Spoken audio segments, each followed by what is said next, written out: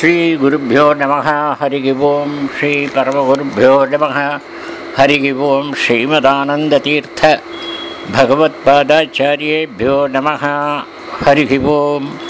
अथ दशकं ट्वेण्टि।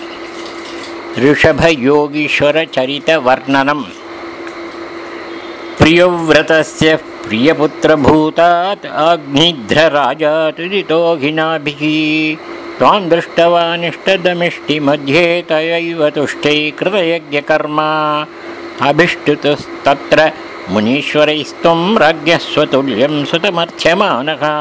स्वयं जनिष्येऽहमिति ब्रुवाणः तिरोदधा बर्हिषि विश्वमूर्ते।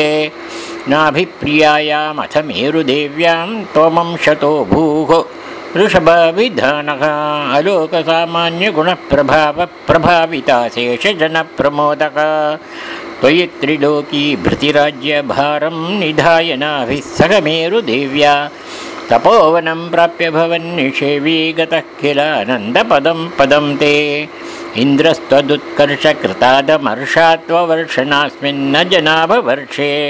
यदा तदा त्वं निजयोगशक्त्या स्ववर्षमेन द्व्यदधात्सु वर्षं जितेन्द्रदत्तां कमनीं जयन्तीम् अथो वहन्नात्मरताशयोऽपि।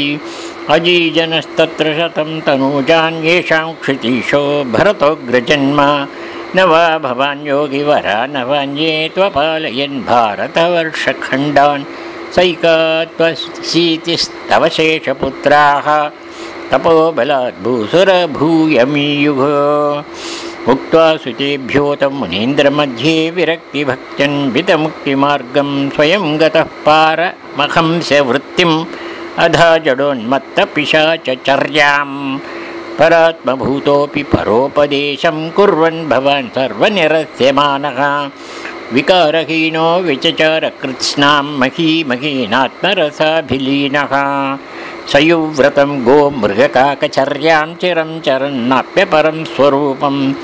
दवाहृदाङ्गः कुटकाचले त्वं तापान् ममापा पुरुवातनाथ श्रीमन्नारायणाखिलगुरो भगवन्नमस्ते श्रीहरये नमः